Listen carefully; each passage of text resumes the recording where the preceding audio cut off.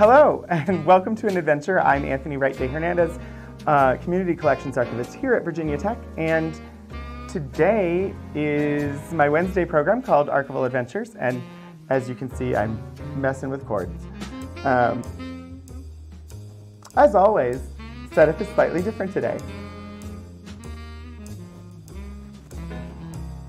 And uh, as I was putting the microphone on, I was like, oh wait, I'm using earbuds and the cord is hanging down right onto the microphone. And so I tried tucking the cord through my shirt, but I didn't have time to adjust it. So yeah, Archival Adventures, messing with cords. Um, anyway, welcome everybody. Um, hopefully the music is good, the voice volume is good. If any of those volumes are not great today, let me know. Um, and let me see, let's see, Wannabe Sayuri, welcome uh, to High Energy Physics Part 2, um, which is just part two of the Marshak papers uh, for now. Next month, it's a different collection for high energy physics. Hi, Hannah, welcome in. Shadows of Life, it's good to see you, Lord Portico. I hope um, that your symposium panel went well. Um, Fluid Ann, hello and welcome. Uh, it's great to have so many of you joining today. Hi, Key Squared. Um, yeah, okay. And captions, captions are on. Captions are on. Hey, hey, I didn't turn them on. Well, I did. But I turned them on um, and tested them before I clicked live. And then I ran to the restroom. And normally I would have shut them off for the period while I wasn't in the room but apparently I didn't do that. And my oversight in, in, in that sense turned out to be a good thing because, oh boy, I, I have a, um, yeah, today's setup did not go as well as normal.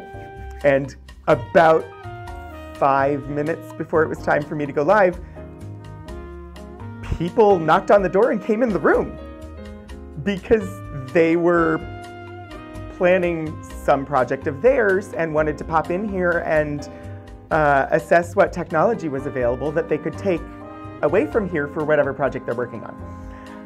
So, you know, I'm, I'm not sure. Uh, but uh, they are gone. Um, there is a sign that says actively in use, live. Uh, so hopefully we won't get interrupted like that in the middle of the actual program. But I can't guarantee it because um, it is a room that's accessible to anybody who's able to book it. Um, and there's a little panel outside the door that's supposed to indicate when it's in use uh, so that you can reserve time. But that panel has never functioned as far as I'm aware and just always displays the room as available. Uh, even though it is booked. Anyway, um, technology is technology. Uh, you might note on the display, um, there's, let's see if I can do this, a new uh, URL down in that corner. Uh, that is the Special Collections website as part of Virginia Tech's overall website. If at any time you are interested in visiting there, um, and uh, when we move to other screens, it'll be at the top. Um, I, oh gosh, that is too small. I can't see it. Hello, Cats a lot. Uh, welcome in. Um, and thank you for the follow on the, the uh, VTUL Studios channel. Um, there are two channels today if you've not been here to the show before. Um, we have, uh, this show goes out to both uh, twitch.tv slash VTUL Studios, which is the channel for the library at Virginia Tech, which is where uh, we're broadcasting from, as well as to my personal uh, Twitch channel, which is Rogan27. Um, and then let's see, also in the other corner, which is that way, um, there's a QR code uh, that will take you to the survey, uh, which will also show up um, in the chat at times. Uh, feedback on the show is always good because the more feedback I get, the more I can tailor the show to things that people are interested in seeing, as well as um, justify why it still goes on after two years. So, it, speaking of uh, two years, next Wednesday, in this time slot, right now, a week from now,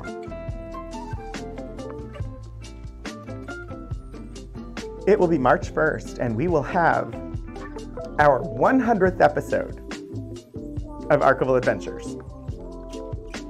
Um, and so I am actively working on pulling and planning, yes, planning an episode. I know we normally randomly pull things. We see what looks interesting on the finding aid, pull it out, and I look at it sight unseen. Um, for next week's episode, the 100th episode, I'm spending a bit more time in identifying specific places um, where the content is just generally better. We're revisiting things we've looked at before. Um, so I already have a sense of what's there. And uh, we're revisiting things that were really popular, that people liked over the course of the last two years. Um, so it should be fun. Uh, so that is going to be next uh, next week.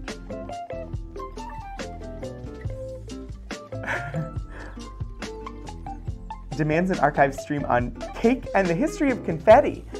Um, I can definitely do cake. I assume we probably have some things on the history of confetti. Uh, you may have been joking, but I'm going to write this down as a potential future topic for this show. It is not going to be for the 100th episode, though. Uh, but I do have, uh, hang on one second. I'm going to jot this down and then we will we will actually get to uh, what we're talking about today. I, I guarantee we will actually look at some high energy physics things. Um, cake and the history of confetti.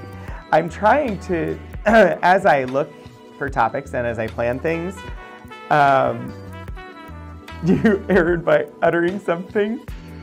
Yes. Um, so I try to balance it out. This week's episode, really easy. We've got one set of papers here, um, and so not a whole lot of prep work. I mean, it's it's the, the normal amount of prep work. Um, when I do something more like a general topic, where I'm pulling together multiple collections, there is more prep work that goes into that. And so like cake and the history of confetti would be one where I actually have to do research to identify what materials we have before even pulling them. So that's one that takes more work and I try to sort of mix it up so that I get a balance between ones that take a lot of work and ones that don't. Um, although the next two weeks are both compilations. Next week is 100th episode. The week after that is Girl Scouts of America um, which is not a collection. It's just everything in our collections I could find. Anywho, how about we actually get this episode moving forward instead of me um, getting distracted and uh, extending the welcome. Uh, first things first, before our normal acknowledgments, uh, which I see those have hit chat. Thank you, Hannah. We'll get to them in just a second.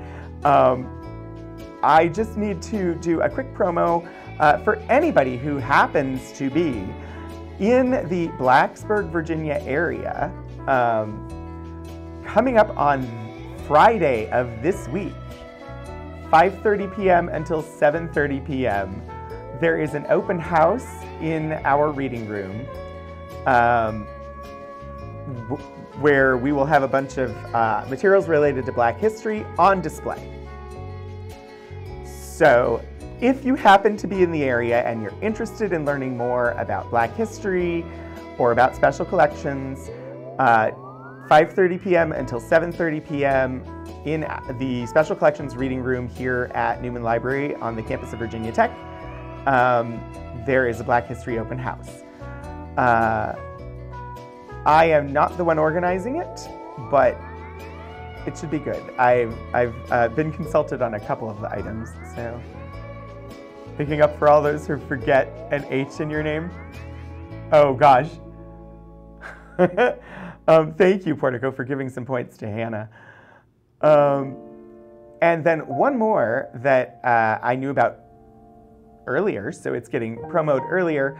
Um, again, this is for anybody local to the area, so anybody here on campus, anybody actually affiliated with Virginia Tech, who, or you know, just people geographically local, um, unless you know you want to travel here for it. Um, coming up on the 16th of March, there is another uh, sort of open house type event. Um, in special collections starting at 5.15 p.m. and going until 7.30 p.m. And it is um, a women's history focused open house event in our reading room. Uh, so coming this Friday, uh, Black History Open House, and then coming up in mid-March, uh, Women's History Open House, both of those uh, in person here in the reading room uh, at the library. I haven't done promos like that in the past, but these are coming up, and I was like, hey, I should promo these on the show. I don't know if anybody local is going to see them, but I should mention them anyway. I just happen to know that most of the viewers are not located here in Blacksburg. Anyway, uh, what we normally start the stream off with the land acknowledgement and labor recognition. And I do see, I wondered about the color for the text up there at the very top. That'll be fixed for next week, now that I know what it looks like. I didn't have a chance to test. Uh, we like to take a look at Virginia Tech's land acknowledgement and labor recognition before we dive into the historical materials because we're looking at documentation of history. This statement from the university is meant, or these statements from the university are meant to acknowledge the history of the university and of the land it sits on uh, and look towards the future with that history in mind. So I like to include it before we dive into looking at historical materials. Virginia Tech acknowledges that we live and work on the Tutelo and Monacan people's homeland, and we recognize their continued relationships with their lands and waterways. We further acknowledge that the Morrill Land Grant Act, uh, sorry, Morrill Land Grant College Act of 1862 enabled the Commonwealth of Virginia to finance and found Virginia Tech through the forced removal of Native nations from their lands in Western territories. We understand that honoring Native peoples without explicit material commitments falls short of our institutional responsibilities. Through sustained, transparent, and meaningful engagement with the Tutelo and Monacan peoples and other Native nations, we commit to changing the trajectory of Virginia Tech's history by increasing Indigenous student, staff, and faculty recruitment and retention, diversifying course offerings, and meeting the growing needs of all Virginia tribes and supporting their sovereignty. Virginia Tech acknowledges that its Blacksburg campus sits partly on land that was previously the site of the Smithfield and Solitude plantations, owned by members of the Preston family. Between the 1770s and the 1860s, the Prestons and other local white families that owned parcels of what became Virginia Tech also owned hundreds of enslaved people. We acknowledge that enslaved black people generated wealth that financed the predecessor institution to Virginia Tech, the Preston and Olin Institute, and they also worked on construction of its building. Not until 1953, however, was the first black student permitted to enroll. Through Inclusive VT, the institutional and individual commitment to Ut Prosim that I may serve, in the spirit of community, diversity, and excellence, we commit to advancing a more diverse, equitable, and inclusive community.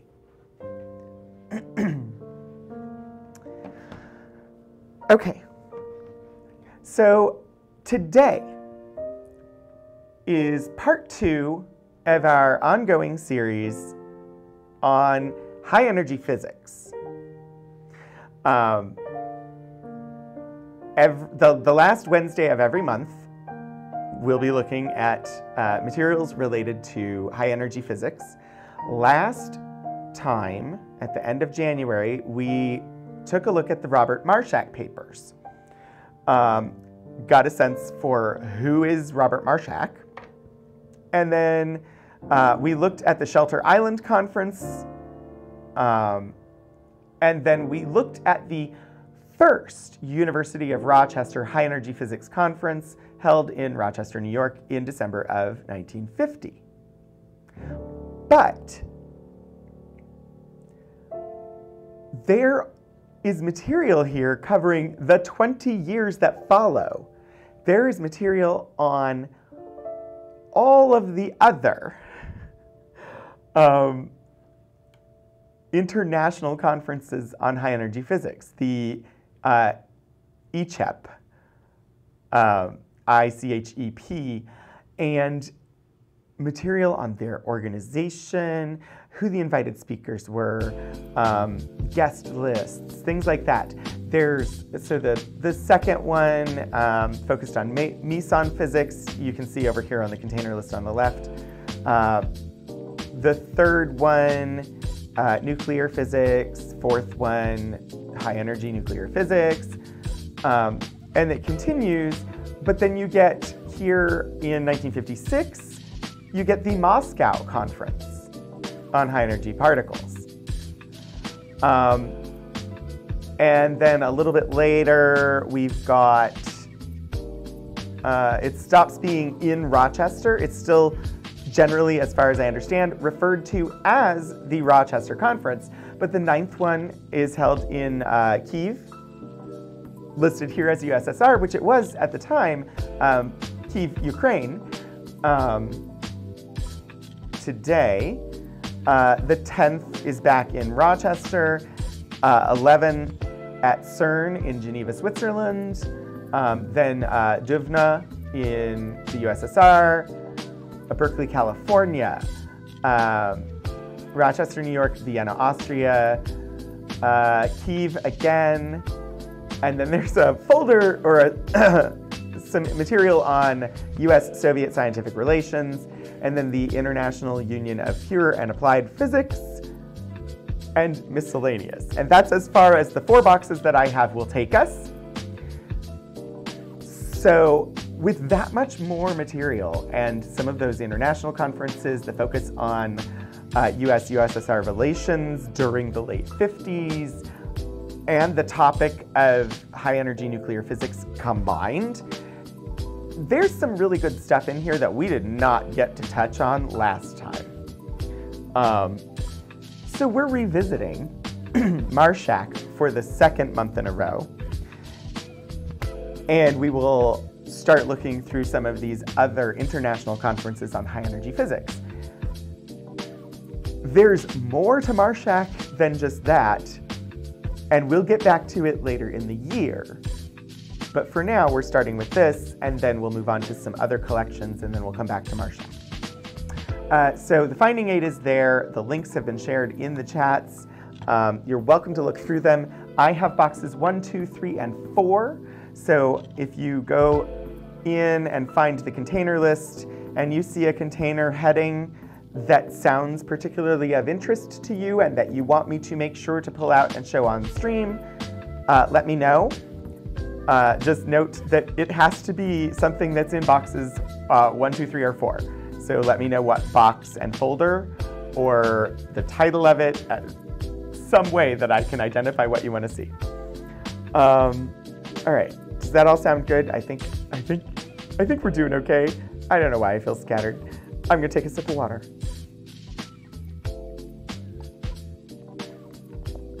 And as Mubot continues reminding people.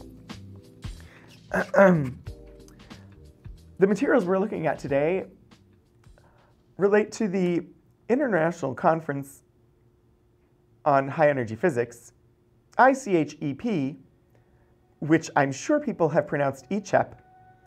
And every time I see it, my brain goes to Star Trek Voyager and the character Icheb. Um, so, yeah. Let's see. I don't mind having a Star Trek reference. Well, how about I actually get some papers and we start looking at them? How long, how long did it take me this time? A half hour? Oh dear. I can do better than that. This is the problem. This, I need a, never mind. Y'all can't see. When I lean over to get to the boxes, the, um, the earbud cord is like pulling on the computer. I need an extension cord for it. Uh, let's see. First conference, second conference. All right, I'm gonna pull out second conference and we're gonna take a look and see what's there. Um, incidentally, the image from the very beginning um, is from the fourth conference, and I picked it because it was interesting. I picked it because it was women, uh, but then I researched who those women were, um, and so when we get to the fourth conference, we'll talk about them. Apparently, there are note cards in this folder, and they just slipped out.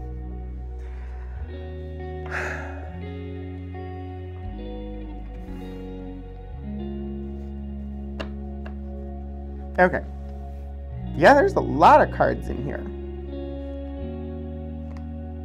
What is this folder?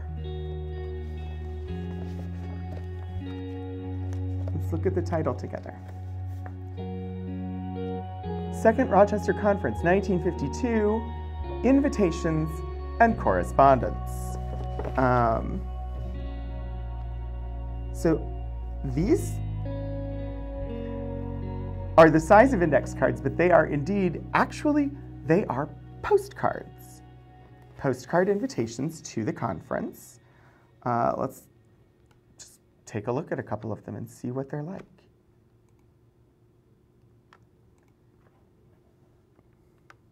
To be returned by December 15th if possible, I plan to attend the Rochester Conference on Meson Physics January 11 through 12, 1952. I should like hotel reservations for Thursday, Friday, Saturday. Interesting. My wife will accompany me. Uh, name, address. So this one was returned by D.W. Kerst. I'm not familiar with Kerst. Um, I would have to look up who they were uh, but they were in the physics department at the University of Illinois. Uh, and it then goes on with the note, I think E. Uh, Segri, I'm not certain how to say that last name, but E. Uh, Segri is my best guess, at University of Illinois might like to come. 1952 invitations being from, yes, being from 1952. The the my wife will accompany me. It just struck me as interesting, not surprising, just interesting considering that I know that there were actively women working in physics at the time. They were on the the starting soon screen. Um, like, yeah, that that image is from two years later, but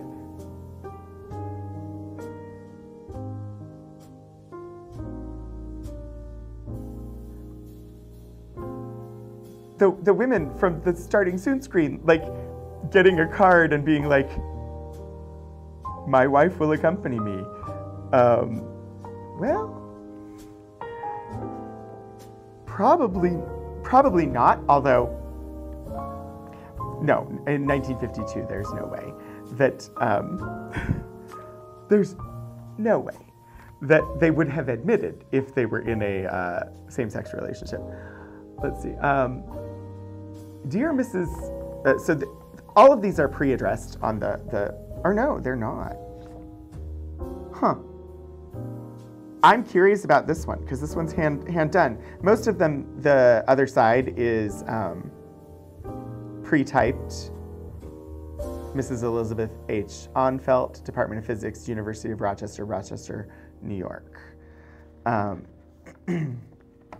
this one, though, postmarked Princeton, New Jersey,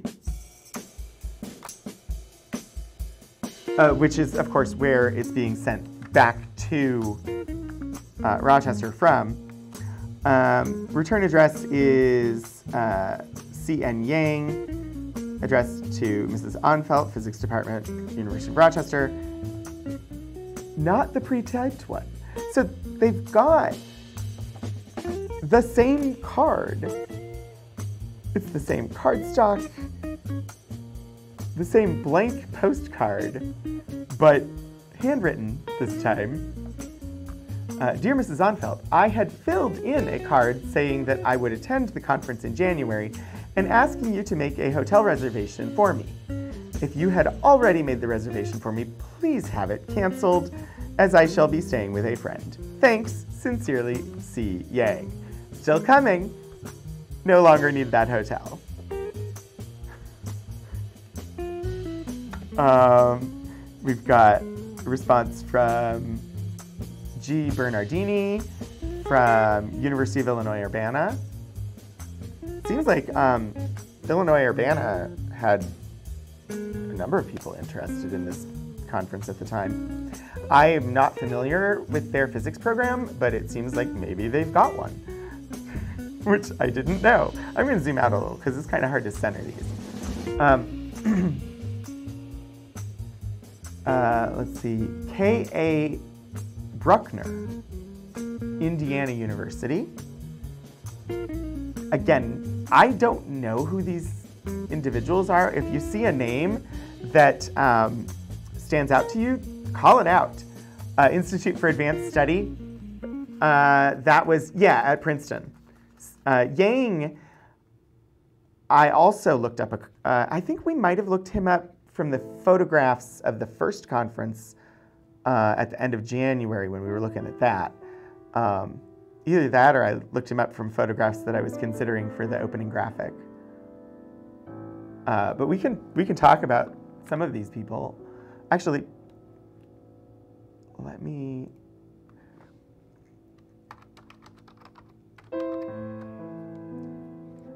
um, in this case, for gen as I've mentioned multiple times uh, on the program, for general informational primer purposes, Wikipedia can be your friend. Like, hey, who is this physicist named C. Yang? Uh, Wikipedia can be your friend. Um, okay, so uh, his name is uh, Young Chen Ning. And actually, if I pull it up on here, I could actually share it on screen. Um,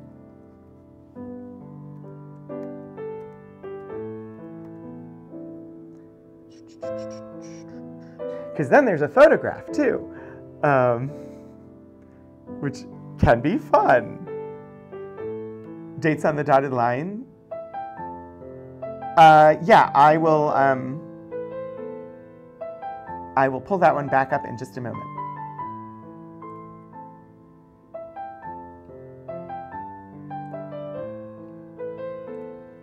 This would be so much easier with a Stream Deck. Uh, uh, Yang Chen, uh, Yang Chen Ning. Um, born October 1st, 1922, apparently still alive, currently aged 100, a Chinese citizen, also known as C.N. Yang, or by the English name Frank Yang, Chinese theoretical physicist who made significant contributions, contributions to statistical mechanics Inte integrable. Sorry, I had not previously encountered that word and I stumbled. Uh, integrable systems, gauge theory, and both particle physics and condensed matter physics. He and Tsung-Dao Lee uh, received the 1957 Nobel Prize in Physics for their work on parity non-conservation of weak interaction, uh, proposed that one of the basic quantum mechanics laws, the conservation of parity, is violated by the so-called weak nuclear reactions, uh, those nuclear processes that result in the emission of beta or alpha particles. Uh, Yang is also well known for his collaboration with Robert Mills in developing non abelian gauge theory, widely known as the Yang Mills theory. Um, hi, Iron Trout. It's good to see you. You think you've heard of Yang Mills theory? I'm. I know very little beyond like some popular nonfiction books about string theory and stuff like that. I, I don't know a whole lot about actual like physics, although um, I do know about the Copenhagen interpretation because because of a play called Copenhagen. Uh, my, my background is much more in theater, but I, I really enjoy sort of learning about this stuff. Uh, in mathematical physics, Yang-Mills theory is a gauge theory based on a special unitary group. I do not know how to read that formula. Uh, or more generally, any compact reductive Lie algebra. I'm unfamiliar with that term too. Describe the behavior of elementary particles using those these non-abelian Lie groups and is at the corner of the unification of the electromagnetic force and weak forces, as well as quantum chromodynamics, the theory of the strong force, forms the basis of our understanding of the standard model of particle physics. So, Lie algebra. Copenhagen plus some Tom Stoppard shows can give a pretty decent intro to the field. Yes, yes. Um, I, I actually think the play Copenhagen and the audio recording that exists of it um, is actually a really good introduction to uh, the uncertainty principle and, and the Copenhagen interpretation for phys particle physics. Um, I, like, I don't mind learning things from fiction. In mathematics, a Lie algebra is reductive if its joint, adjoint representation is completely reducible, uh, whence the name. More concretely, a Lie algebra is reductive it is, if it is a direct sum of a semi-simple Lie algebra and an abelian Lie algebra. I don't know what Lie algebra is. Alternative character, okay. Yeah, it's, it's Lie algebra that I've never heard of before. And I don't know I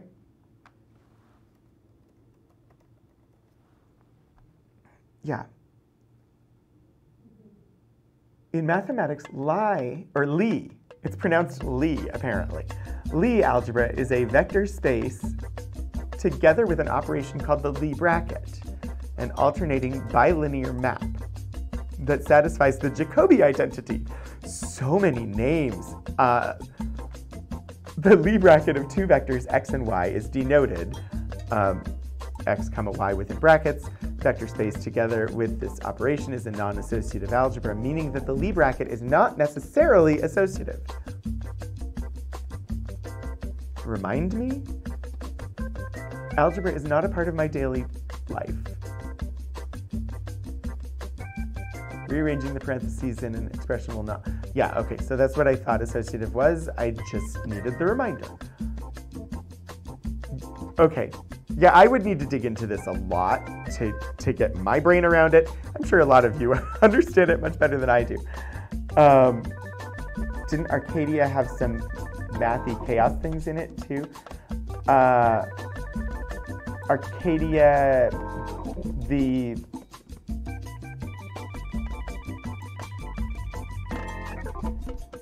I'm not certain what you're referring to. Arcadia has um, a lot of associations in my brain, so I'm not sure which one you're, or which usage of the name Arcadia you're going for. oh, the Stoppard play. Um, I don't know. I'm not familiar with that Stoppard play. Uh, so it's entirely possible, but I'm I'm not certain. Now I'm really curious.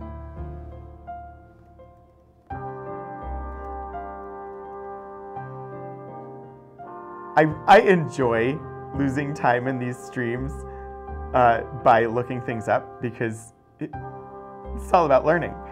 Uh, Arcadia 93, written by English playwright Tom Stoppard, explores the relationship between past and present order and disorder, certainty and uncertainty. Been praised by many critics as the finest play from, quote, one of the most significant contemporary playwrights, unquote, in the English language. In 2006, the Royal Institution of Great Britain named it one of the best science related works ever written. Uh, so it does mention in that summary um, certainty and uncertainty. So uh, I would expect mathy, chaos type things um, would be present. Okay, so this is one um, where you had indicated that they you were interested in the fact that they put dates on there. I mean, they the dates of the conference are the 11th through 12th of January, so they just happened to like actually fill in. They wanted a hotel for Thursday and Friday, and they put the dates, which makes sense to me. So the conference is on the 11th and the 12th. I guess I guess you wouldn't have to put in the date to know that it was Thursday that was but there's lines and the dots are there for you to like fill things in. But then again, why are why is there like an underline up here? Like there's a space for something. I don't know. I guess that's for yes or a. I don't. I'm uncertain how they intended these cards to be used, but everybody figured it out. People showed up at the conference. Uh, Gregor uh, Wentzel, Institute for Nuclear Studies, University of Chicago. Uh, Herbert Alverstrom, Institute for Nuclear Studies, University of Chicago. We've got James Lawson from Schenectady. I'm just looking at who they are and where they come from at the moment. Gregory Breit, Sloan Physics Laboratory, Yale University. Uh, okay, we talked about this person last time and I've already forgotten. Um,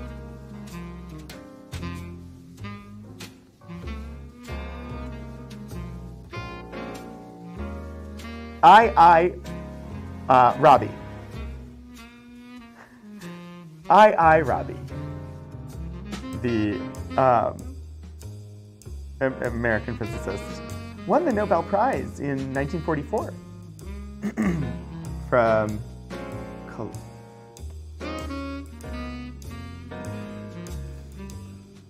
I can't read the name.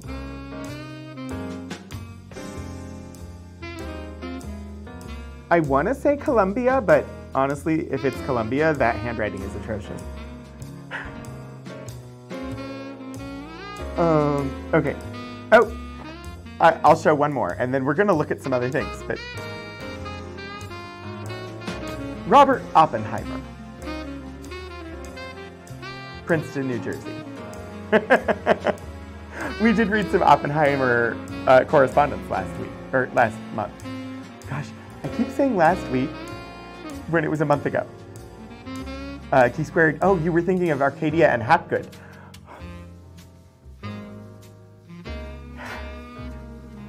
Sorry, Hapgood goes to um, a musical that now I wonder if it's based on Stoppard's work.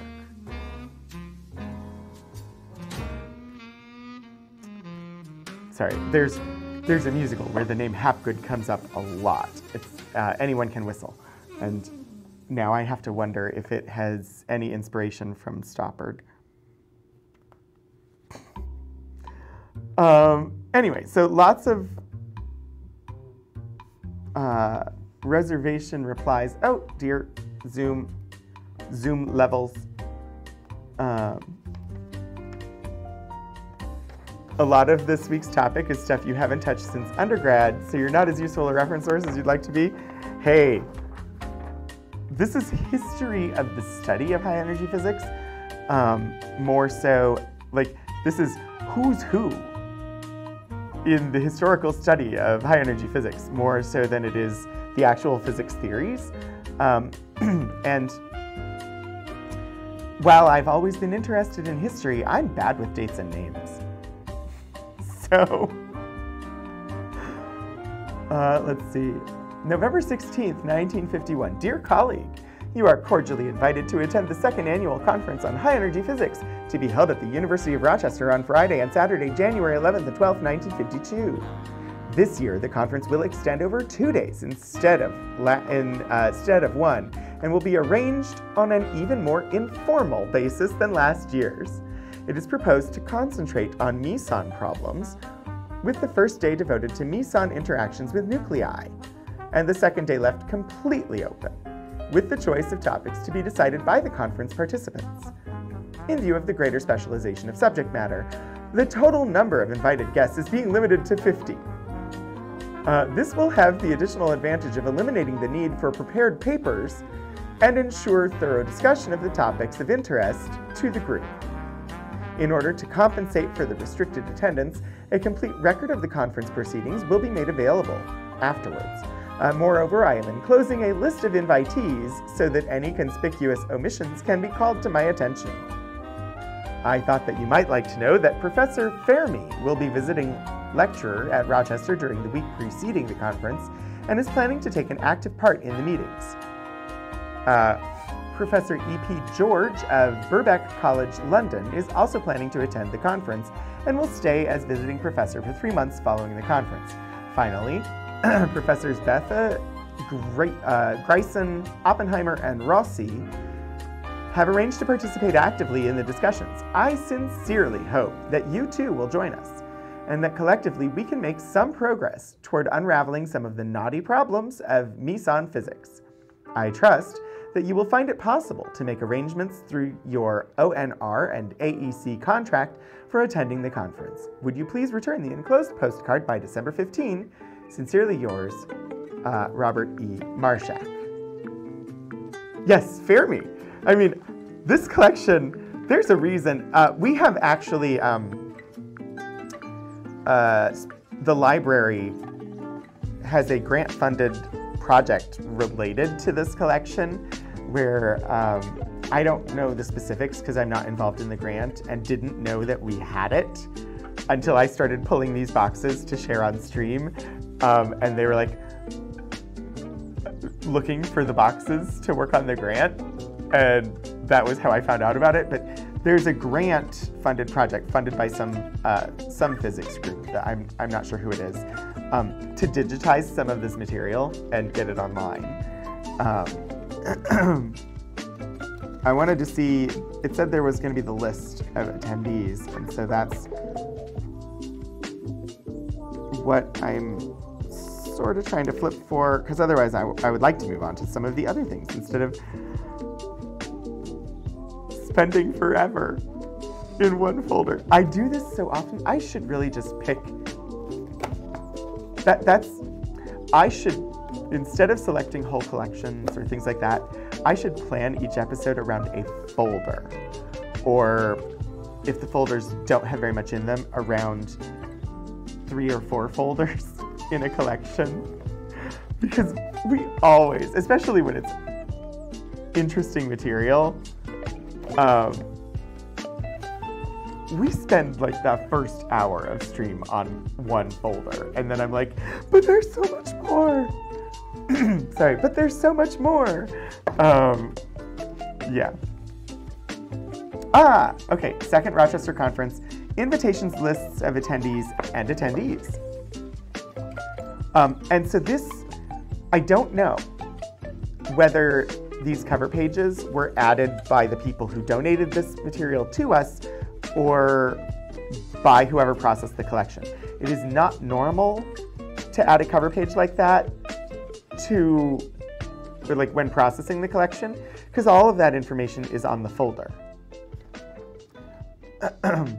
and like the folder was created by the person processing the collection.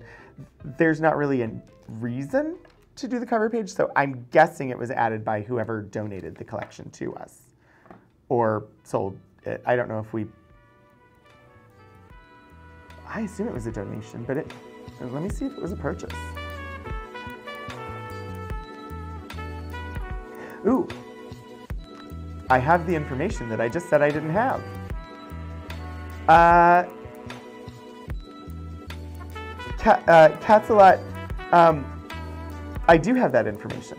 It's in the finding aid, actually. So um, the processing, arrangement, and description of this collection was created as part of the project The Global Marshak Wave and the Foundations of Mar Modern Particle Physics, creating greater access to the Robert E. Marshak papers at Virginia Tech, funded by the American Institute of Physics from September to November 2021.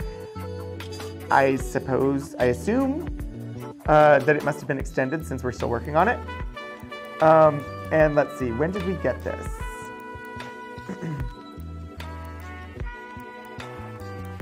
the Robert Marshak papers were donated to Virginia Tech Special Collections and University Archives in three separate donations. Series 1, known as the Rochester Conference Papers, were donated in 1989.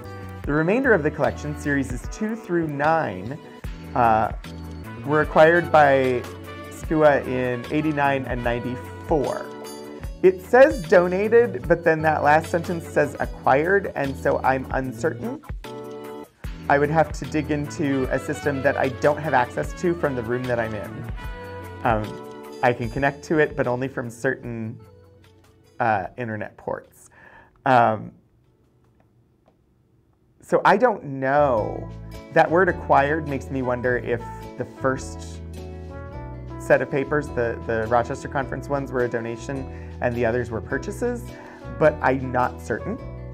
Um, but yeah, so we first got Marshak papers in 89 and then the sub, the second and third editions uh, were 89 and 94. Um, but let's see, uh, the 89 donation Series 1 was processed and described prior to 1994. We don't know when. Uh, additional description was completed in 2005, 2010, and 2020. A print inventory was created in 94 and incorporated into the finding aid in 2010 and 2020, with additional arrangement and description in 2020, full processing of the collection uh, in 2021 incorporated those existing documents.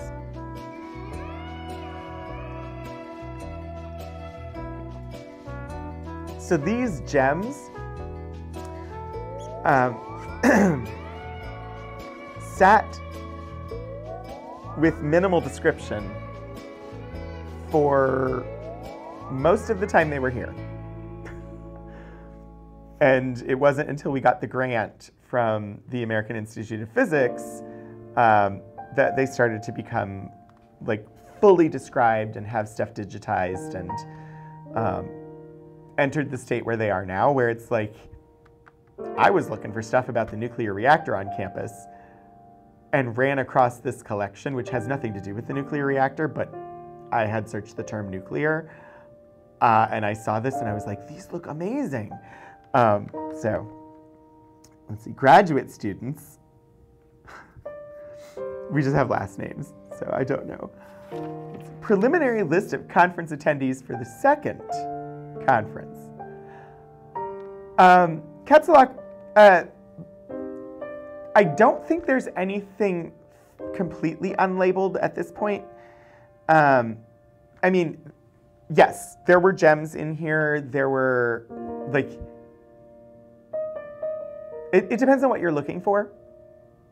Um, I think if you searched on some of the names of attendees, like Fermi or something like that, you might come across this collection, but it would depend on who you're searching for and whether they're mentioned in the finding aid. Um, whereas this has two segments of stuff from two separate Rochester conferences that happened in Kiev, but it because of the date, it's Kiev, USSR, and um, I was looking for stuff on Ukraine uh, a few months back, and it never occurred to me that I should try searching for Ukrainian cities that uh, that did not used to be like that would have been listed as USSR. So it wasn't until I was going through this collection that I realized, hey, we have stuff that's about what is today Ukraine. Um, So it's sometimes in how you search for it, and it's sometimes that it hasn't been described. Um, most of the stuff, though, has at least minimal description. Um, but then it just takes a lot of time to process things. Uh, let's see. We've got Anderson from Caltech, uh, Anderson from Chicago. Question, uh, some of these have question marks, it looks like. Uh, Bacher from Caltech, Bernardini from Illinois, Bethe from Cornell, Breit from Yale, uh, Brueckner from Indiana, Case from Michigan, Chew from Illinois, Christy from Caltech, Cocho, uh, sorry, I don't actually know how to say that name. Uh, Cocconi from Cornell. I want to say Cochoni, but I don't think, I don't know if it's right. Uh, Crane from Michigan. Yes, Freeman Dyson from Cornell. Um, which just made me think. Oh, no, that was. I was like, wait, we have something. But no, it's not Dyson. I was thinking Buckminster. Buck, that. My brain was like, hey, we have a collection. And because of Dyson and the Dyson sphere, my brain connected him with Buck, Buckminster Fuller and we have some Buckmin- Buckminster Fuller things, but not Dyson things. Uh, Feld from MIT, Fermi from Chicago, uh, Feshbach from MIT, Foldy from Case. I don't know all of these names. Uh, from Berkeley, George from Birkbeck, Greisen from Cornell, uh, Johnson from Brookhaven, Kerst from Illinois, Lawson from GE, uh, Lighton from Caltech, McMillan from Berkeley, uh, Oppenheimer from Institute, the Institute for Advanced Studies, um, as well as Pai from Institute, Panofsky from Stanford, uh, Rabi from Columbia, Rainwater from Columbia, Reynolds from Princeton, Reichman from Berkeley, Rossi from MIT, uh, Schein from Chicago, Schiff from Stanford, Schwinger, Schwinger, sorry, from Harvard, uh, Serber from Columbia, Steinberger from Columbia, Teller from Chicago, Thompson from Illinois, Uhlenbeck uh, from Michigan. I recognize Uhlenbeck. Although that one has an X next to it, I want, I, I, I'm uncertain as to the marks. I'm guessing question marks are, they're uncertain if they're coming. Check marks are confirmation that they are attending. X's are people who will not be there. So it looks like Uhlenbeck did not attend. Uh, Watson, Weisskopf, uh, Wentzel, Wheeler, Wick, Wigner was a no. Wilson, uh, Yang from the Institute, uh, Yukawa, who we looked into uh, last month. And then um, there's additional people I can't necessarily make out the handwriting. Fukuda? Rossi, Lord, Sear, Viller, Salvini, uh, Piccioni, Shapiro, Lederman, Liddell, Collins, Primakoff, Salient York, uh, either Moyer or Mayer, and Alvarez. You're not seeing your old professors on that list? Well, this is 1952. Maybe they weren't. Maybe they, maybe they weren't invited quite yet, or active enough, or I I don't know. Plus,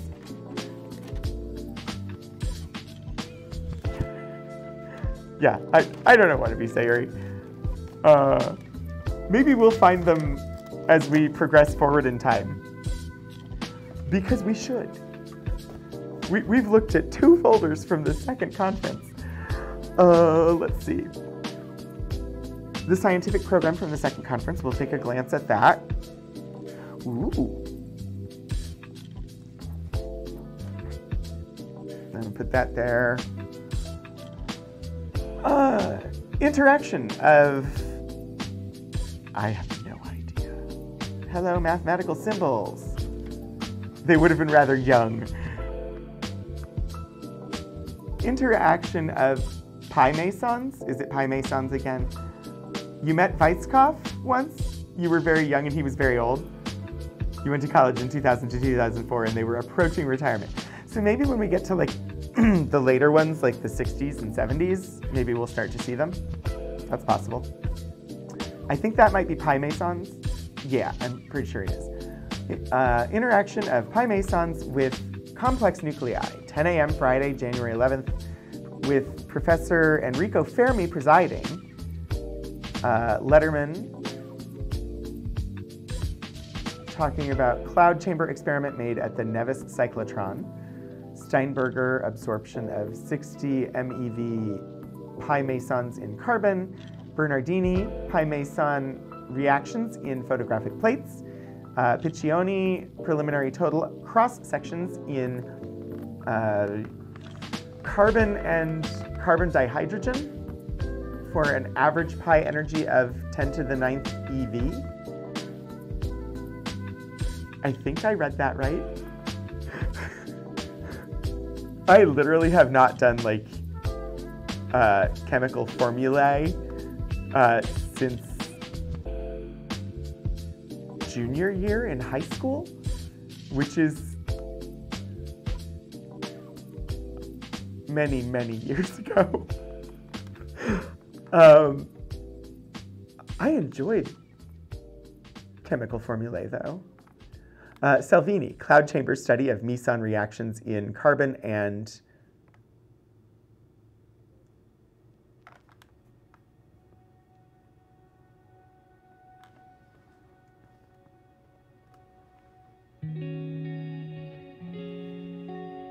lead. Okay, I thought it was lead, but I didn't want to say it because I was going to get it wrong.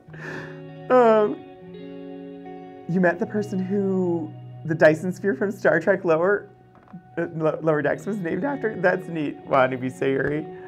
Uh, oh, cats a lot. Thank you for throwing lead in the chat. Uh, let's see, pi backward scattering in aluminum, Cu copper, I'm not 100% certain, and lead, uh, that's Alvarez, Anderson, pi meson reaction, cross sections in, oh gosh, now they're just being mean. Is that beryllium, carbon, aluminum, copper, zinc? I have no idea what CD is, and lead. I'm trying. Cadmium is CD. Uh, and I'm just going to double check Cu. Cu is copper. And Be, was Be actually beryllium?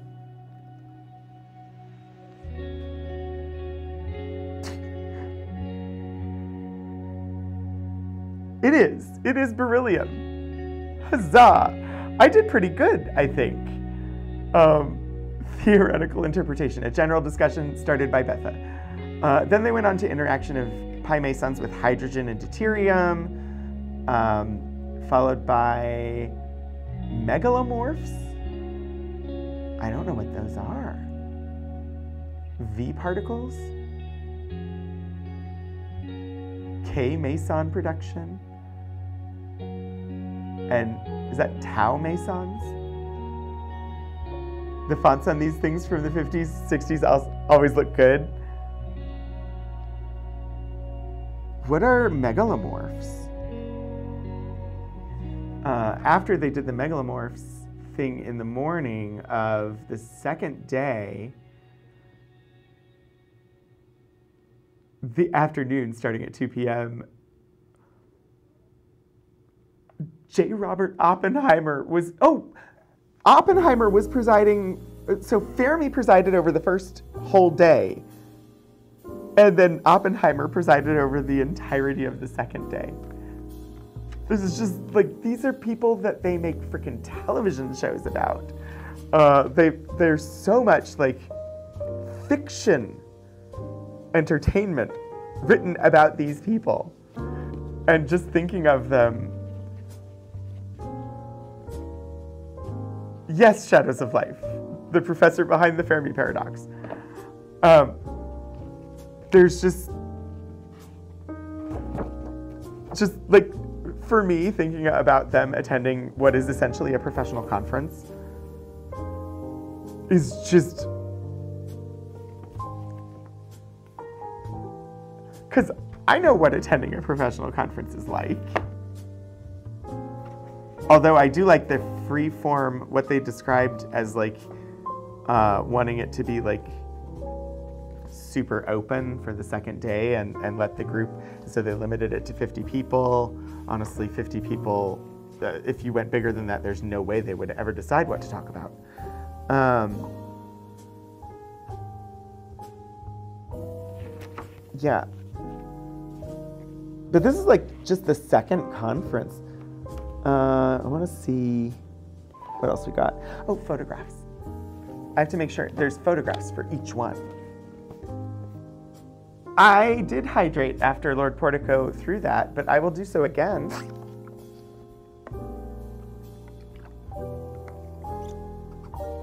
Ah, megalomorphs is a now archaic and rarely used term for massive unstable mesons. Is it meson or meson? Um, thank you, Key Squared. So, yes, I do have gloves. Um, and yes, I will be putting gloves on my hands uh, because I'm about to be uh, touching photographs. And I don't want hand oils to get on the photographs. It is also a concern for the paper, but um, with what we have and the capabilities, uh, basically in our archives, we prefer clean hands to gloves, to because what we have are cotton gloves. Um, for paper, because cotton gloves can easily catch on rough edges and cause tearing. Um, and so clean hands are generally better than cotton gloves. If we had a good supply of nitrile gloves, um, non-reactive nitrile gloves, um, those would likely be better, uh, like those would be better than bare hands. But the bare hands for paper tend to be better than cotton gloves. Cotton gloves, though, um, can mess with photographs. And over time, your fingerprints uh, can deteriorate the quality of the photograph. Uh, you've more often heard it mesons, but both seem to be used. Okay, I, I can't. I keep switching.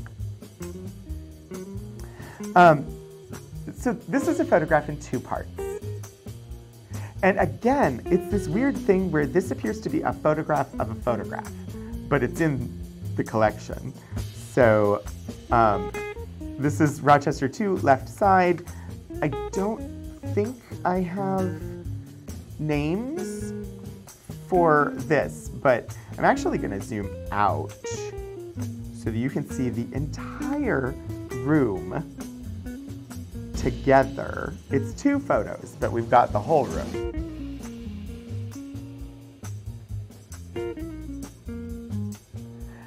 Technically go one further, but I'll zoom back in. We're just gonna lose a couple people on the sides, but there's the entire of And every single one of the Rochester conferences, or at least as many as I actually have glanced at, they all have a photograph of the attendees, um, which is pretty cool. Like, if I did research, I'm sure I could identify specific people. A lot of them are already identified. Like here on the right side, uh, nope, nope, not on this one. They don't. Uh, they don't have people identified on this one. When we get to some of the other years, they definitely are. Um, and then the other the other thing in the photographs is this fun piece. Them giving an honorary degree to Fermi. So in the photograph is um, President de uh. I'm uncertain how to say his name. Um, I'm assuming president of Rochester uh, University. Um, presenting the honorary degree to Fermi. And then here on the right, this is Robert Marshak, who, whose papers these are, who was the person who created the Rochester Conference while he worked at Rochester. Um, so yeah, it's just exciting. I just like the picture with the honorary degree given to Fermi. Like, how many people have something like that just sitting on a shelf a few feet from their desk and can just go and pick it up? Uh, granted, I am not one of those people because it doesn't sit on a shelf a few feet from my desk. It actually sits on a shelf out at offsite storage, and I have to request the box if I want to see the items. But um, yeah, still just really, really kind of cool. Let's see. Uh, third Rochester conference. Let's let's progress past where we were forward in time uh, a number of folders here from the third Rochester Conference on high energy physics. And we'll start with the photos this time. How about?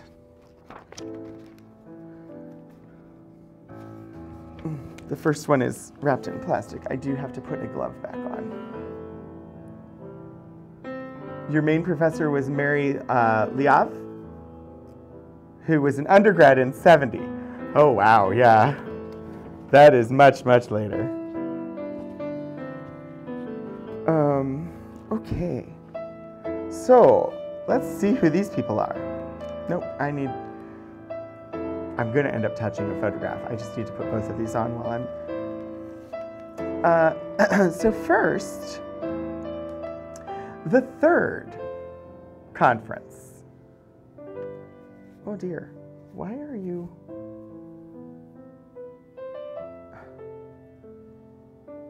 No.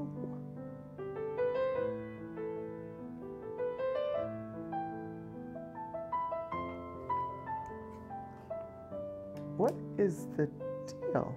Hang on one second. The, one of the computers is not getting power. Um,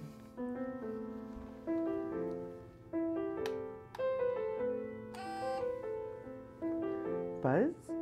Hey, okay now it has power. It was like, I'm going to shut off, and you all would have lost music, and it would have just been bad.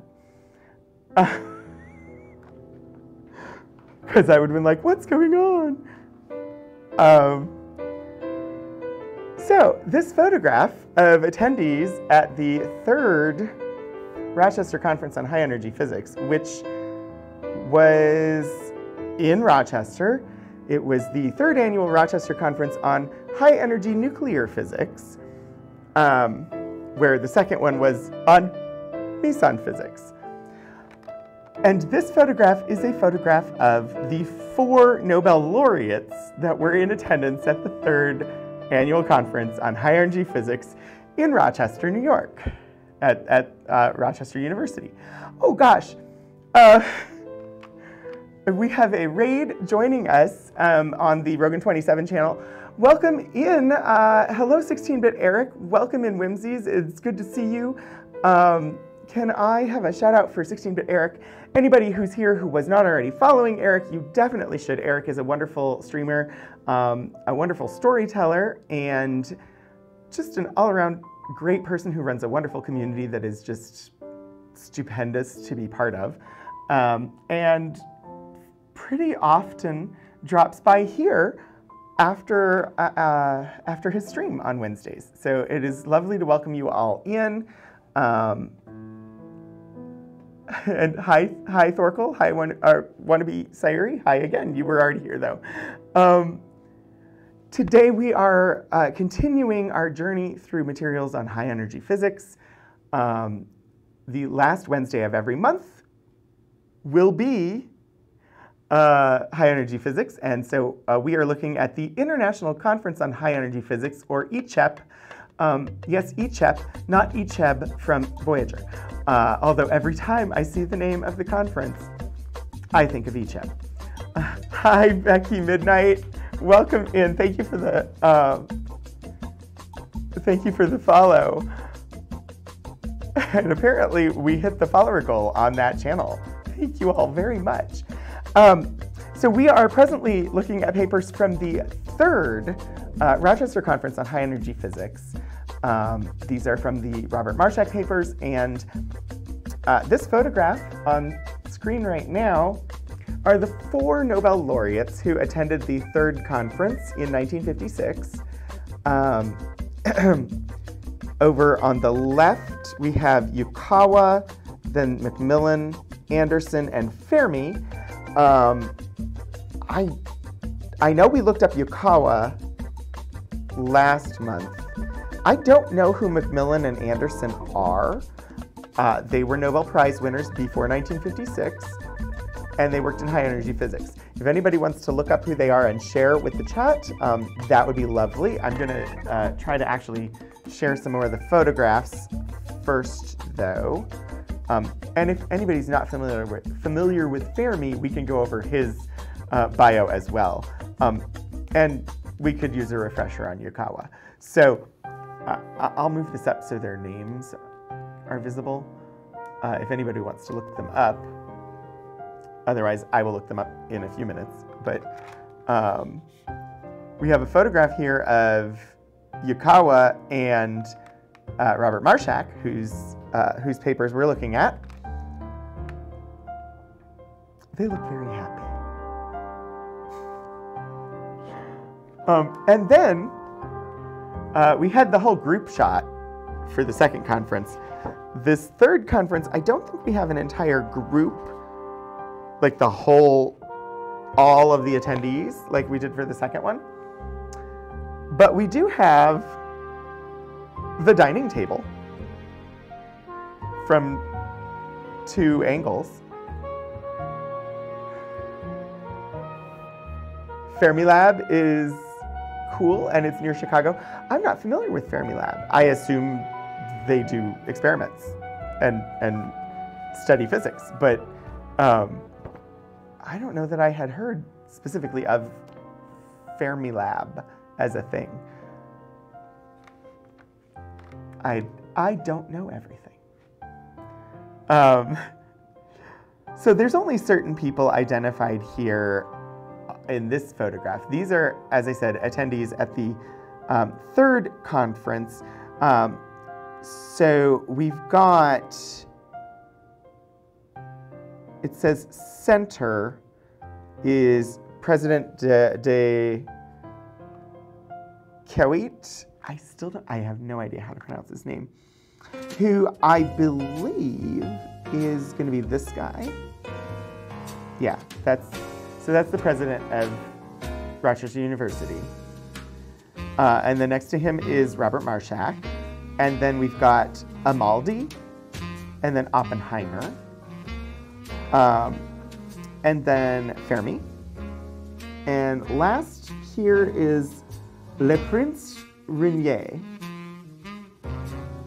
Um, and then we have another view of the banquet.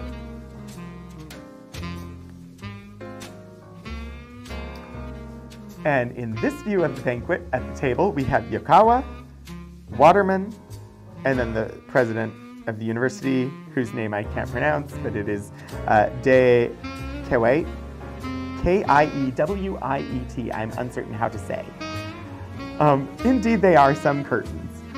Uh, and then Marshak, Amaldi, Oppenheimer, Leprince-Ringuet, and then Winger and Vallarta. Uh, and then whoever this last person is is not identified on the photo. Um, these are just, they're neat. Um, let's see. Also from the second or third conference, we have this photograph of C. Anderson and R. Rao writing a formula on the board. If anybody knows what that formula is, or if that formula has any special meaning that I should have recognized and did not, please share. Because um, to me, it's just a formula being written on a board. Uh, and I, I, don't know. it is very physicsy. Um, okay, I'm going to look up these people then. Uh,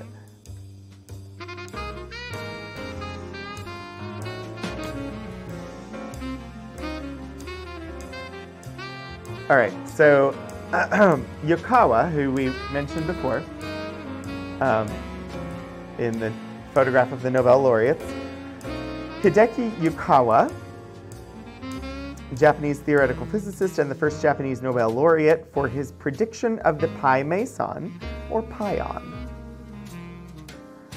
Um, and then we've got McMillan Nobel laureate.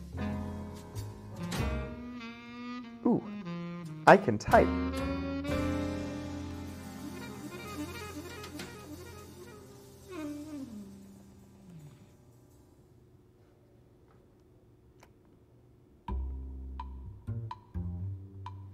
Yeah, that looks like him. Uh, Edwin McMillan.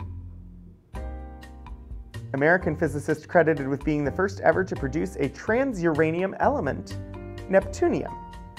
For this, he shared the 1951 Nobel Prize in Chemistry with Glenn Seaborg. Uh, and then next to him is C. Anderson.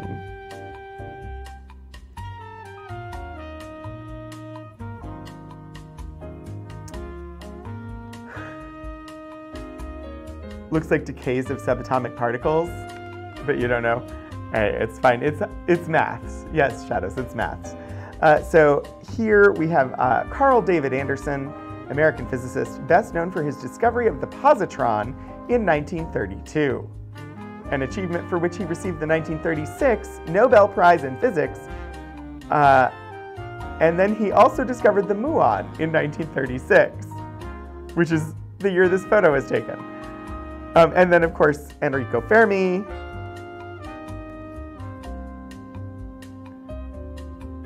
who was an Italian American physicist, um, creator of the world's first nuclear reactor, the Chicago Pile 1, has been called the architect of the nuclear rage and the architect of the atomic bomb, one of the very few physicists to excel in both theoretical physics and experimental physics. Uh, awarded the 1938 Nobel Prize in Physics for his work on induced radioactivity by neutron bombardment and for the discovery of transuranium elements. So, these are the people that are talked about here. The cow particle.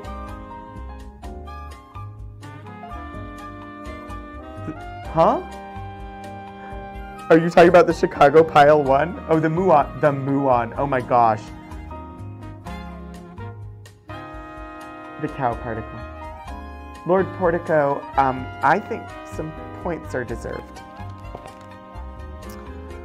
Um, Wow.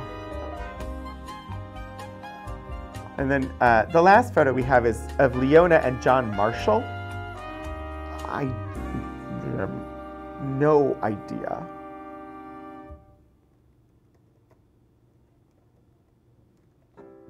It's a great photo though. Let me see if I can find out anything about this person.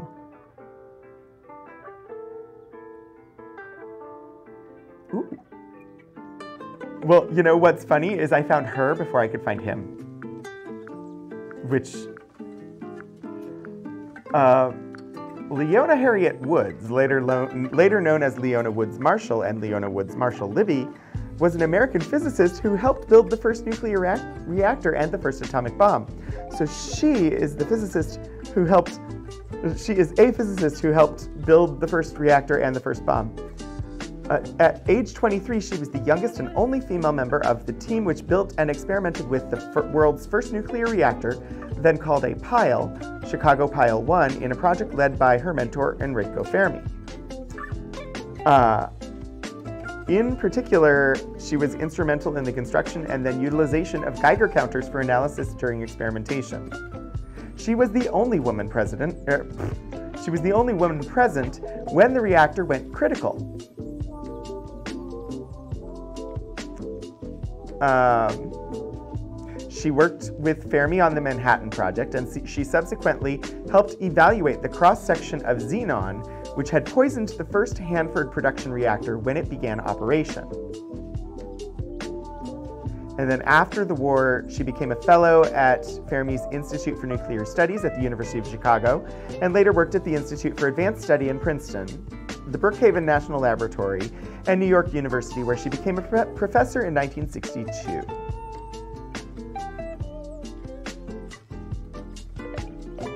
And um, uh, people who were here earlier in the stream will remember the invitation for the second conference had on it a question of whether your wife would be attending with you. Um, in this case, she's the famous physicist and he's a nobody as far as Wikipedia is concerned. Uh, she divorced him in 1966. Uh, but there is no article about him. He's just the husband of um, Leona Marshall. So I wonder I wonder if their invitations still had that will your wife be joining you question. Muons are fun. They fly deeply into the earth and change flavor randomly. They did a test where they shot them from Fermilab up to a mine in northern Minnesota and watched them change flavor. Um, this, okay, talking about things, um, high energy particles traveling through the earth and observations of such uh, brings to mind another place where I learned stuff from fiction, um, which is uh, is it just called Antarctica? It's a Kim Stanley Robinson novel. Incidentally, I learn a lot of things from Kim, Kim Stanley Robinson's novels. Um,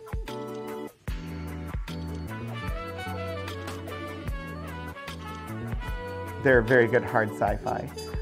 Um, oh, come on. Works. I was like, bibliography? Where's the bibliography? Um, is it? Yes, Antarctica. Published in 97. Um, there is a great scene in the book of, um, I'm not doing photos anymore. I can take these off. Uh, there's a great scene in the book where um, it talks about being able to see like visual light flashes uh, of some high energy particles that have traveled through the earth. Um,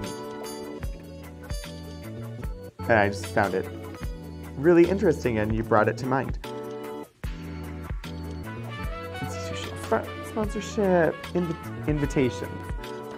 Okay, we looked at the invitations for the second conference. And um, Oh, hi, Shadows. Were you... Oh, hi, Puddleglum. Wow. Gosh, I thought I thought one of you was... I thought Sayuri was responding to Shadows. Sorry.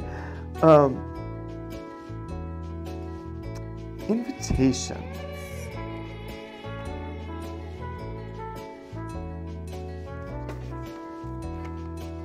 I don't know that we have Ah, well here's here's a copy of an invitation, at least. Um, regarding seeing high energy particles, don't stick your head in a particle accelerator. That's a bad idea. This is true Puddleglum. Um, you'll likely get more than an ear infection. Um, there's a couple of books that I've read where there's discussion or something in the plot. There's some reason uh, why people end up in an underground dark space that is filled with water and get to watch high energy particles um, light up as they pass through the earth. Um, so here's uh, an invitation to Hans Bethe. Uh, I still don't know how to pronounce that name. I'm sorry, uh, but this is this is what the invitations look like for the third conference. You are cordially invited to attend the third annual. Sorry, I just realized there's the text behind it made it hard to read, and I was like, I can fix that. Um, you are cordially invited to attend the third annual conference on high energy nu- nuclear physics to be held at the University of Rochester on Thursday, Friday, and Saturday, December 18 through 20, 1952. This year, the annual conference will extend over three days and will be co sponsored by the National Science Foundation. The aim of the annual conference is to bring together a small group of active workers in the field of high energy physics for an informal discussion of the latest experimental results and their theoretical interpretation. For this reason, the number of invited guests is being limited this year to approximately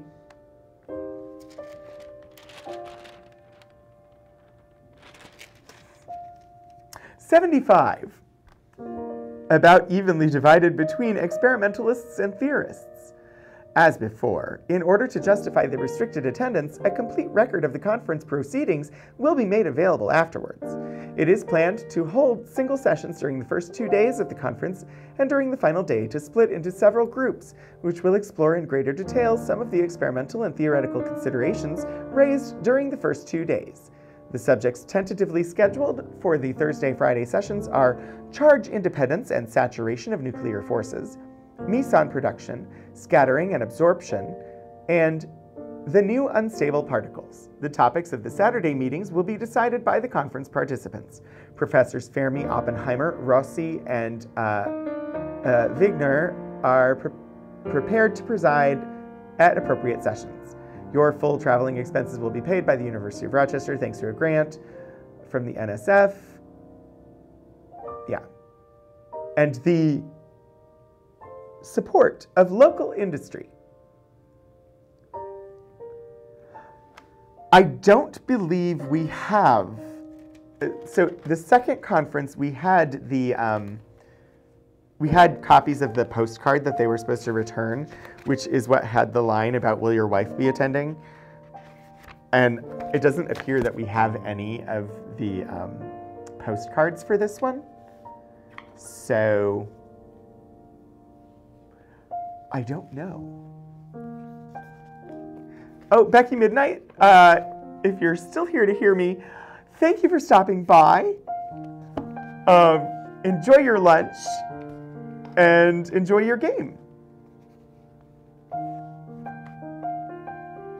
When you were at Argonne, I didn't know you used to be at Argonne. That's amazing. Uh, they showed a picture of a guy who put his thumb in an accelerator that was off. It looked like an absolutely horrible case of frostbite. Amazing. Uh, so, attendee list for the third one. Let's see. There's a lot of handwritten stuff. That might be all there is. I was looking for printed one. Hey, hey, here we go. Uh, the invitees. I don't know a hundred percent. There's some crosses out and X's and things. Um, I don't know if I have the final list in here.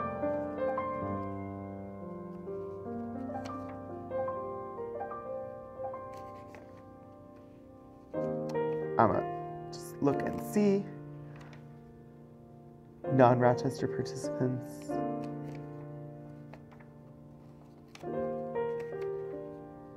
Ah! Does it say the date? I wonder. Well, it doesn't look like it does. Well, we'll go with this. Ar- Argonne. So it's not Argonne? Interesting. I did not know. I always thought it was Argonne. Well, I learned it's Argonne.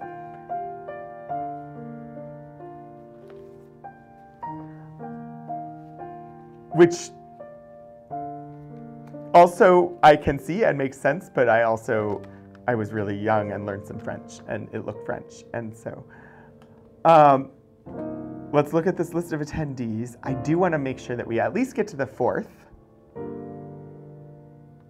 conference, and then we may just, when we return to Marshak in the future, we'll have to look at more of these because these are really interesting. Um, I may just, as part of the series, will sprinkle in. Uh, I think there's enough with each of these, like starting with the fifth conference and just spending a whole episode just looking at materials from the fifth conference or the fourth conference even. Um, these are, this is a list of participants from the third annual Conference on High Energy Physics. Uh, L.W. Alvarez from Berkeley, Amaldi from Rome,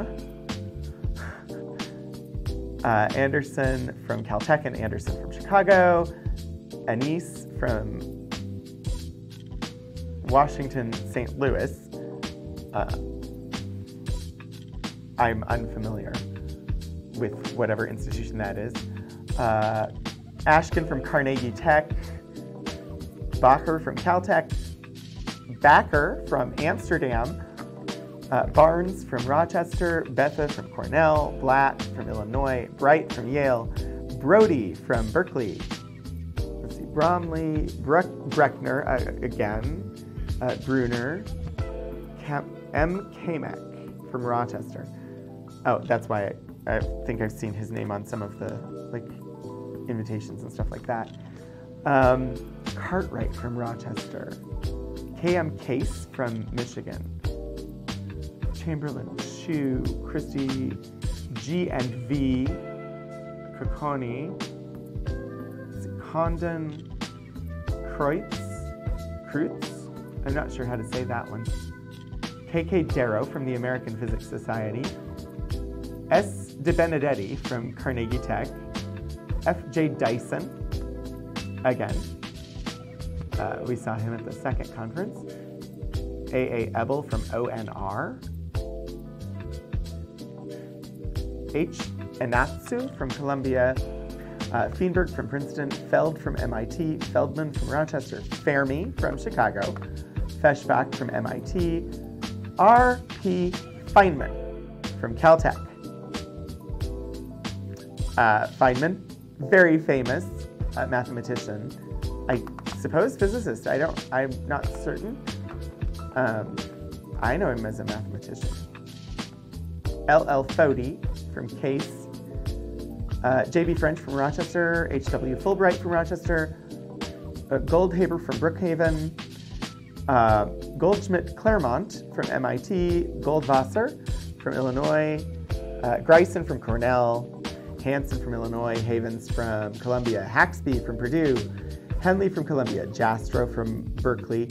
Uh, Jauch from Iowa State, Jost from, in, from the Institute for Advanced Studies, uh, Judd from Berkeley, Kaplan from Rochester, Kerst from Illinois, Kinoshita from the Institute, Knipp from Iowa State, Kolstad from AEC, uh, Kraus. I can't tell if that's an H or a B. I think it's Krausbayer from MIT. Uh, let's see, Crable, Knoll, Lawson, Lederman, Leighton, Liddell, Livingston, Leprince-Ringuet, Lord, Lowe, Luttinger, Marshak. Hey, Robert Marshak. That's whose papers these are. Uh, Marshall, McMillan, Messel, Morrison, Nambu, Ney, Nordheim, Noyes, uh, J. Robert Oppenheimer, Osborne, Oxley, Pailly, Perkins, uh, Perau, Peru, I'm not certain, uh, Piccioni, Placzek, Platt, uh, Primakoff, Rainwater, Ramsey, Rao, uh, Reynolds, Riddiford, Ritson, Roberts, Rossi, Ruderman, uh, a couple of people named Sachs from different institutions. Sal, Salpeter, Sard, Schein, Schiff, Schwinger, Segrè, Serber, Shapiro, Schutt, uh, Silverman, Sitta, Stevenson, Street, Sum, Thaler, Thompson, Tinlot, Uhlenbeck, Vallarta, Van Hove, Villers, Walker, Watson, Weisskopf, Wentzel, White, Wick, Wigner, Williams, Wilson, Woodward, Yang, and Yukawa. There's a lot of people that attended, and a lot of names that we've recognized, I think. Um, I do want, I, I'm low on time, so I'm gonna skip ahead because I want to look at some stuff from the fourth conference. Since, you know, partly, I, I mean, partly because I used photo from the fourth conference as the promo for today, um, thinking that we would get through these faster. I should have known better.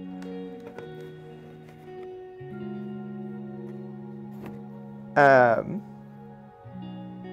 these are just, they're really neat. Uh, and I want to spend lots of time and look up all the people and learn all about all of this history. Um,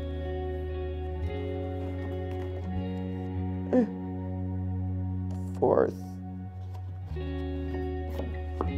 Where's the photos folder? I'm sure there is one. Where is it? Printed proceedings. The fourth conference.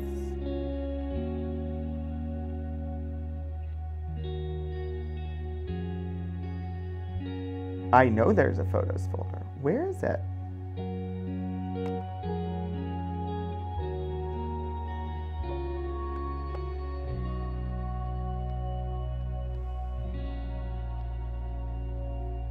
Um, am I silly? Wait, 1956. Is this not 1956? Oh, no, it's the sixth conference. We're going to jump ahead to the sixth conference real quick. Because we're going to talk about the people in that picture. We can always come back and look at, we're going to come back and look at some of these others. Um, as this series continues. Like I said, I discovered we had a bunch of stuff on high energy physics, and um,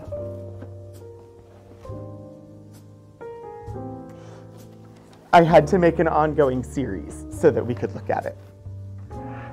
Uh, sixth, Rochester Conference. Photographs, we'll start with that. And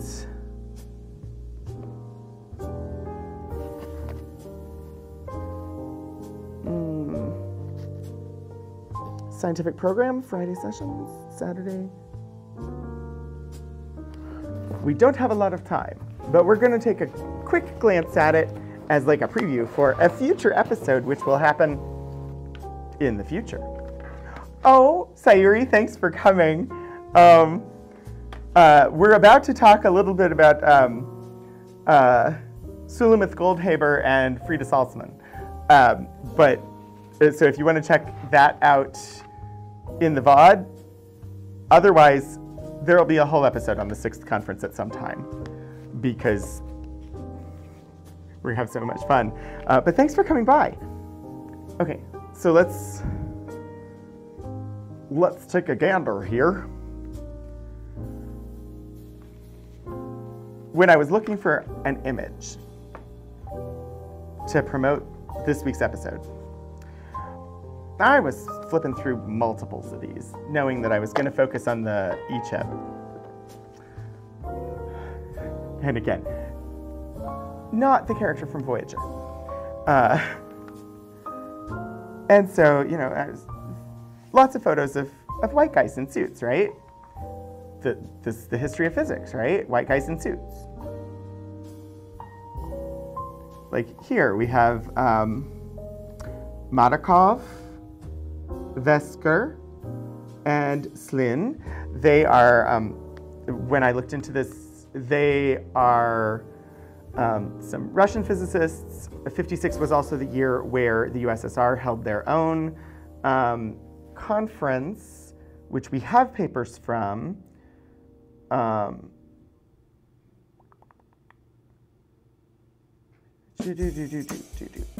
the Moscow conference in Moscow. Um, and so, like, these are some of the delegates who actually came from Russia to the US for the US conference.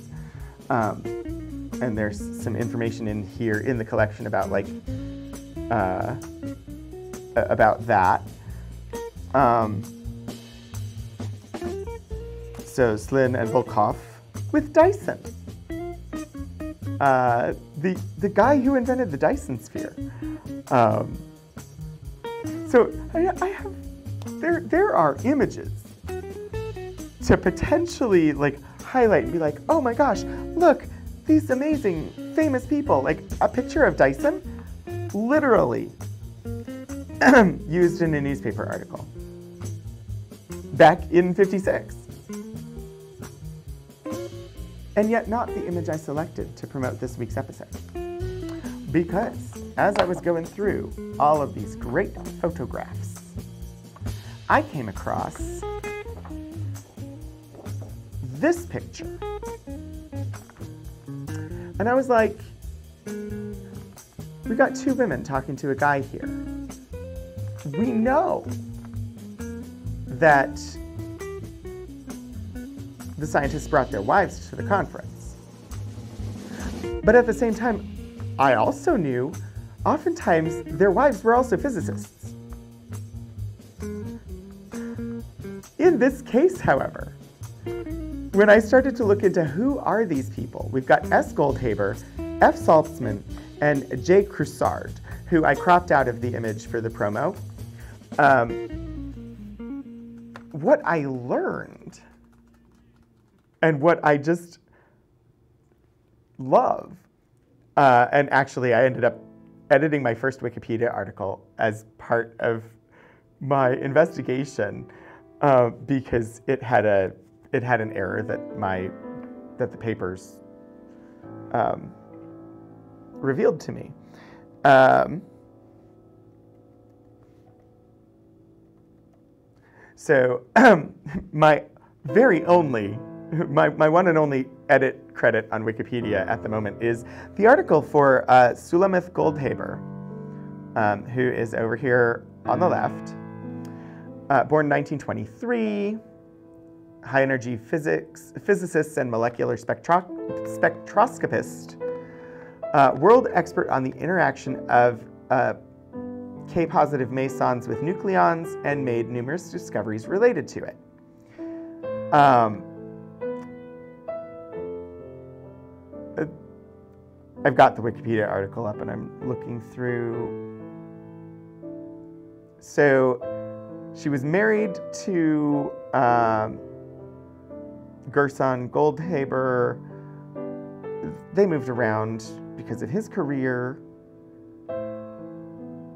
Moved to Berkeley in 1953 when he got a job as an assistant professor at the University of California. Um, while uh, Sulamith had previously worked in physical chemistry, she was able to transition to high energy physics and form a collaboration with her husband working on nuclear emulsion. Um, it says they hope to use their nuclear emulsion technique with the newly opened Bevatron, which I'm not familiar with, um, at the time the highest energy accelerator in operation. Um, and it was through their methods that they observed some of the earliest interactions between K-negative mesons and protons. Um, in the 1960s, let's where is the part about 56? Okay. Goldhaber was in high demand as a speaker at scientific conferences because of she was an expert in her field and because she was able to communicate what she knew easily, like in, in, in a way that people could understand. She gave a seminal talk at the sixth International Conference for High Energy Physics. Her talk was on the production and interaction of heavy mesons and hyperons and her talk is said to have marked the transition from cosmic ray based experiments to particle accelerator based experiments in the study of strange particles. And so I came across this photo. Um, and I was like, oh, it's, it's women at the physics conference. Let me see if they're physicists, because if they are, I'd like to use their image to promote the collection so that it's not just like, so that the physics series doesn't end up being image after image after image of black and white photos of white guys in suits. Because they weren't the only people, people doing physics. And so I had looked at some of the Asian attendees, uh, Japanese attendees uh, in particular, but I came across this photo and I decided to look them up. And Goldhaber was a physicist. Saltzman, or uh, yeah, Frida Saltzman next to her was also a physicist. I wasn't able to find as much about her, um, but we can definitely dig into her later. And then um, Jay Crussard uh, was in attendance from um, uh, I forget the name of the school, uh, someplace in France. It's in my notes somewhere, but um, a Polytechnic Institute in France that I just can't think of the name of at the moment. Um, and I saw this photo and I was like, oh, wait, she gave a, an industry marking talk at this conference. Of course, I'm going to highlight her. Um, and so it, it just, this photo to me has so much meaning. And it was just, I was like, oh, look, it's a photo of people that aren't just, they, they don't all look the same. And I wanted some diversity and came across this photo. It had the names at the bottom. I did maybe an hour, an uh, hour, hour and a half of research if you count the time that I updated Wikipedia to make a correction. Um, and I discovered like wow, she's one of like the keynote speakers at this conference this year. And uh, yeah, Th those are the kinds of things that can happen when you're just, just taking a look around, exploring. Um, there's so much more, and I'm sad because it's 428 and we're not going to get to more. We really only looked at uh, the second and third conferences today. So I have severely underestimated the amount of time that it's going to take to get through these. I think we're having fun. I think it's been educational. I think I should continue. Um, and it's a good thing because the plan is the last Wednesday of every month is part of the high energy physics series. Um, so there will be more coming. Uh, let's talk about what's next because the next in the series we should mention as well as what's happening next week. Um, so for that, I'm going to pop us into a couple of different things. Uh, we'll, we'll, work our way backwards real quick, uh, sort of. I'm going to plug coming up on Friday. Uh, if you happen to be in Southwest Virginia, near Blacksburg and the campus of Virginia Tech, and you want to stop by Newman Library, uh, there is an open house in the Special Collections Reading Room uh, featuring materials related to Black history. So if you happen to be in the area and you want to stop in uh, Friday, 5.30 to 7.30, there will be an archivist on site who can chat with you about the materials, and you're welcome to stop by and take a look. Um, and then coming up on the 16th of March, we also have a, um, an open house focused on women's history uh, happening on March 16th from 5.15 until 7.30 uh, p.m. I don't know the day of the week on that one.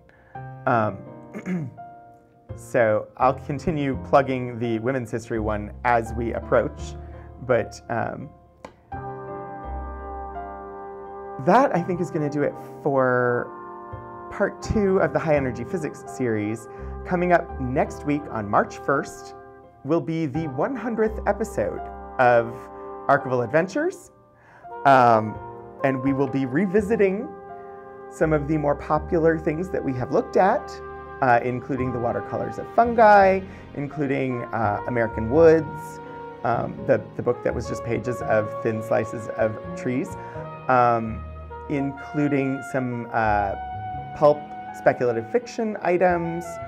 Um, I don't remember everything, but some of the more popular things we're going to be taking a look at again very briefly. Uh, I'm probably going to have to set a timer for myself so that I don't spend half of the stream uh, digging into the spec fiction. But 100th episode next week. After that, uh, on the 8th of March, I have the Grieg and Carnachan, Carnachan, I don't know how to say it. I'm going to try and find out before then, but there's no guarantees. Um, Fortran Films. Uh, these were two students at Virginia Tech um, who uh, did some animated films for their architecture program here. Um, one of them went on to become an architect. One of them went on to become an editor at Disney. And they programmed the animated films that this collection is about using punch cards and the Fortran computer language. So we're looking at that on the 8th. On the 15th of March, in celebration of um, the Girl Scouts of America's 11th birthday on the 12th of March, we'll be looking at materials related to the Girl Scouts of America. Uh, and then on the 22nd, I have materials about the history of women's suffrage. And then the 29th of March will be High Energy Physics Series 3, um, which we'll be looking at the cruise collection. And I have to quickly glance because I don't remember what the cruise collection is all about. So let me just do a quick little search. Um, Kathleen Cruz Architectural Papers. As part of the High Energy Physics series? Indeed, indeed, yes. So we're going to be exploring the Kathleen Cruz Architectural Papers at the end of March to find out how they're connected to the history of high energy physics. Um, so that's what's coming up in March. I hope that I will see many of you joining. Let me figure out where we're going to raid to. Um, because I have to pack stuff up and head home. Um, wow, brain. Uh, let's see. I want to just see who's streaming in the education category right now, see if there's anybody there that we want to say hi to. There hasn't really been. Um,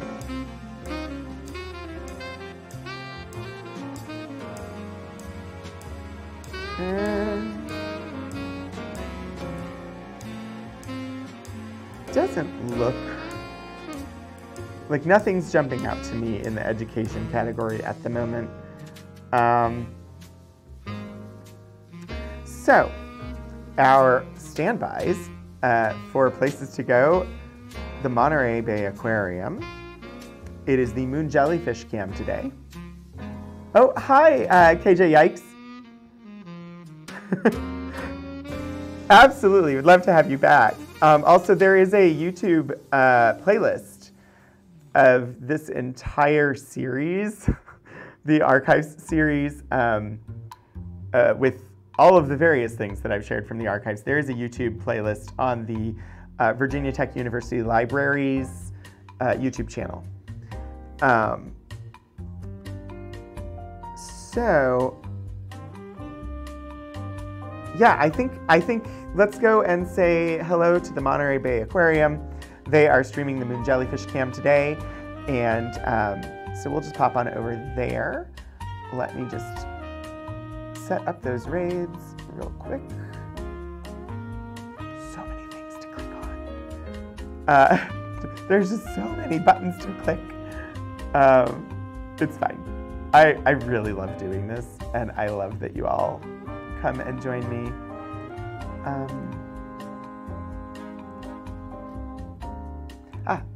I got lost in my windows.